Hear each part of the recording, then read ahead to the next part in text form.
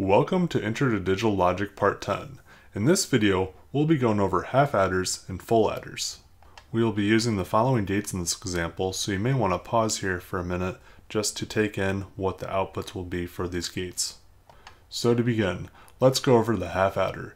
The half adder consists of a A and B input tied to an exclusive OR that outputs a S or sum bit, and the A and B inputs are also connected to an AND gate which outputs a C or carried bit. So let's go over some binary addition to see how this works. If we add 0 plus 0, this equals 0, which is the exclusive OR output, or the sum.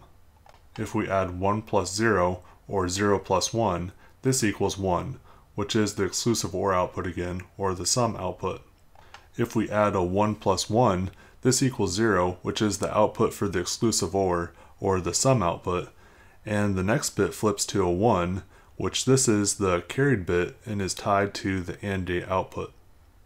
The flaw of a half adder is that we can only generate a carry output and cannot take a carry input.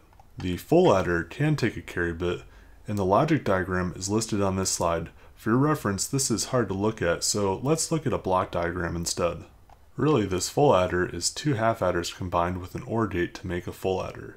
This full adder is a half adder that has an input of A and B, and the carry is hooked into an OR gate, and the sum bit is tied into a A input for another half adder.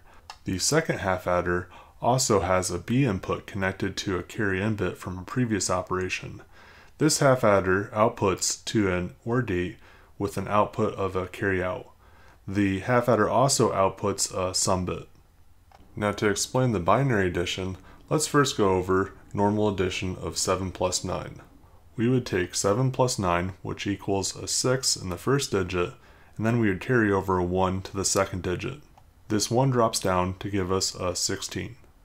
So now to do binary addition of the two inputs that have a value of 1 bit each, we get for the first digit the sum of the two bits equals 0.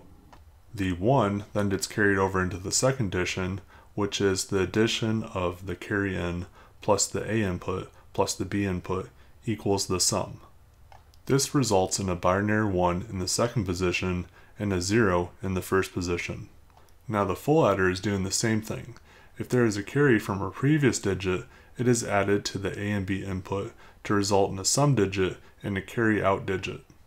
I have listed on this slide a truth table that goes over every variation of a two variable full adder. So carry in of 0 plus an input A of 0 plus an input B of 0 equals a carry out of 0 and a sum of 0.